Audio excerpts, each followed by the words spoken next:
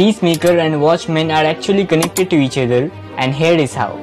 Writer Alan Moore once made a comic draft toward Peacemaker and sent it to DC Comics. Luckily, they were ready to publish an issue, but they didn't want to use the character of Peacemaker which was owned by Charlton Comics at that time. That's why Alan Moore made another character named Comedian, gave him all the characteristics and abilities of Peacemaker and made him a son of a Nazi scientist. And that is how my friend, Comedian came with his Watchmen issue 1 1986 September.